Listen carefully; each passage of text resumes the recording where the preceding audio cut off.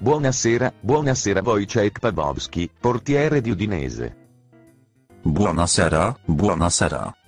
What do you expect for Udinese? We will say, what time will tell. Who is your favorite goalkeeper? My idol is Artur Boruc his player in Fiorentina. Do you want to be a player like Handanovic? Handanovic is very, very solid goalkeeper this is very, very long and I have occasion to face to face in the training the stadion de Udinese. Torniamo in due minuti.